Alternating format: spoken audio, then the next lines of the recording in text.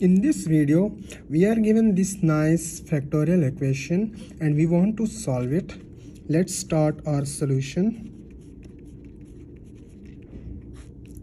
The left hand side of the given equation is n plus 5 factorial which can be written as n plus 5 times n plus 4 times n plus 3 times n plus 2 times n plus 1 and I will stop here at n plus 1 factorial because n plus 1 factorial is also in the denominator.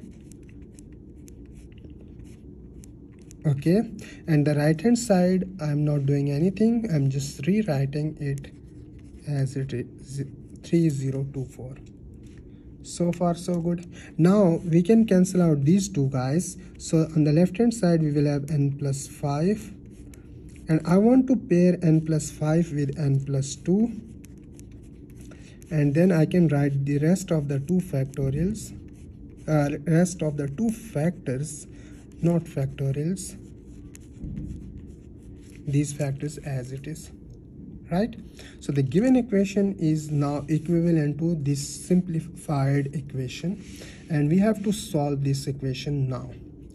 Okay let's multiply these two factors n times n is n square plus 5 times n is 5n plus uh, 2 uh, sorry uh, plus n times 2 is 2n plus 5 times 2 is 10 similarly let's multiply here n times n is n square plus 4n plus 3n plus 12 equal to 3024 right now we have n square plus 5 plus 2 is 7n plus we have 10 here which can be written as 11 minus 1 i'm writing this 10 as 11 minus 1 and similarly here i have n square plus 7n plus can you guess how can i write 12 12 as 11 plus 1 and the right hand side is 3024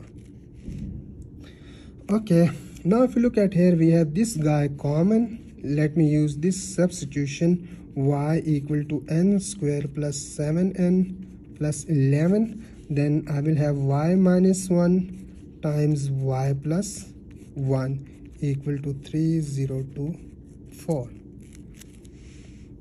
fine. Now if you look at here we have a minus b times a plus b. This formula that says a minus b times a plus b is equal to a square minus b square.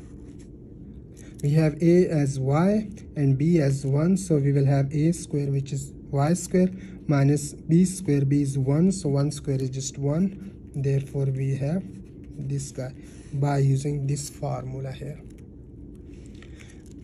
I can move this 1 to the other side so we will have y square equal to 3025 if you add 1 on both sides but we need the value of y therefore we can take square roots on both sides but then we will have two answers. y equal to plus minus square root of 3025 is 55 but remember y was equal to this guy.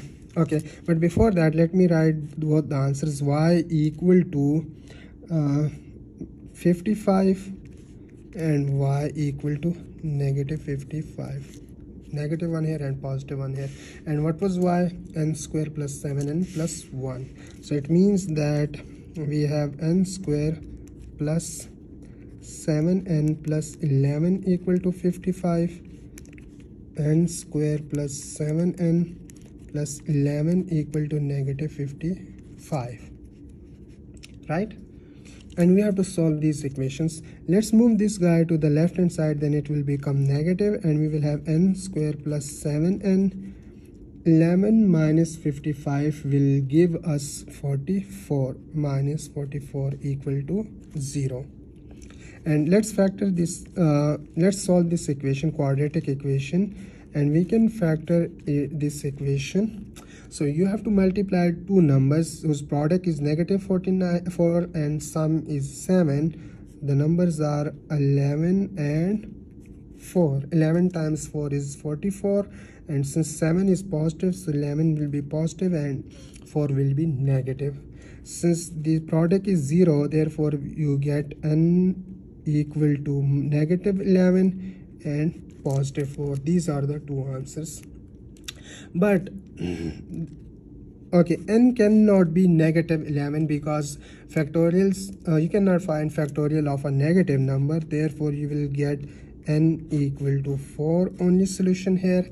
And if you look at this equation then you will have n square plus 7n plus uh, if you move this guy to the left hand side then you will have uh, 66 equal to 0 let's find the discriminant which is b square minus 4ac b is 7 square minus 4 times 1 times 66 this guy is huge compared to, this one so this is negative. Therefore we have no real roots here and we cannot uh, we have we cannot define factorial of complex numbers. So this guy is the only solution of this given equation